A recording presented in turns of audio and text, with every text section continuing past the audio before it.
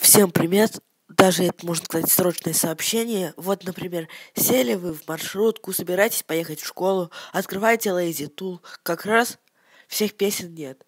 Это из-за того, что ВКонтакте запретила свой API с 16 декабря. Как это восстановить? Сейчас мы посмотрим. Итак, поехали. Для начала переходим на сайт. Ссылочка у вас будет в описании. Так. Второй способ я потом тоже сделаю. Это первый способ. Переходим на сайт. Далее переходим по этой зеленой ссылке. Да, вот по этой. Здесь нажимаем «Разрешить» и полностью копируем всю адресную строку. Обратно переходим в эту вкладку. Выбираем версию. А, вставляем и выбираем версию. Дальше открыть приложение. Открыть Lazy Tool. И вот, обновляем, и все наши песни у нас есть. Вы опять можете прослушивать эти песни, опять можете кешировать. И это не запрещено, и они никак не пропадут.